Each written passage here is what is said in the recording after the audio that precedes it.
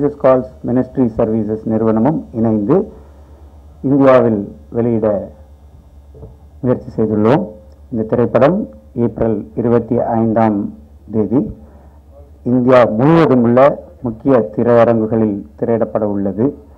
இயேசு கிறிஸ்து வாழ்ந்த காலத்தில் அவர் வாழ்ந்த விதம் அவர் அளி அளி அளித்த போதனைகள் ஆகிய முக்கிய கருத்துக்களை கொண்டு உருவாக்கப்பட்ட பிரம்மாண்டமான ஒரு திரைப்படம். அதிக மிக அதிக பல்லாயிரக்கணக்கான கோடி ரூபாய் செலவில் தயாரிக்கப்பட்ட ஒரு முக்கிய அனைவரும் குடும்பத்தோடு பார்த்து அதில் உள்ள கருத்துக்களை தங்களுடைய வாழ்க்கையில் எடுத்துக்கொள்ளக்கூடிய வகையில் உருவாக்கப்பட்ட ஒரு திரைப்படம். இந்த திரைப்படம் ஜீசஸ் கால்ஸ் மினிஸ்ட்ரி சர்வீசஸ் நிறுவனம்.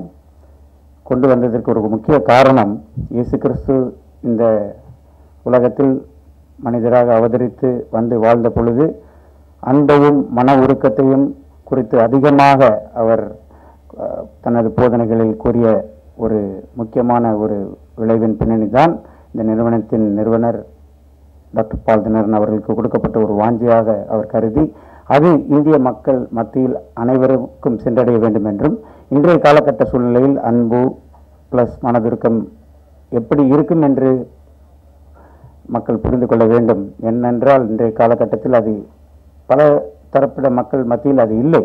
ஸோ அதனால் அது மக்கள் புரிந்து கொள்ள வேண்டும் என்ற ஒரே காரணத்திற்காக இந்த ஒரு முயற்சியை நாங்கள் கூட்டாக இணைந்து செய்துள்ளோம். அனைவருக்கும் அனைவரும் பார்த்து அதை புரிந்து கொண்டு வாழ்க்கையில் உள்ள வாழ்க்கையில் அதை எடுத்துக்கொள்ளக்கூடிய தத்துவங்கள் நிறைந்த ஒரு திரைப்படமாக இது அமையும் என்பதில் சந்தேகமில்லை.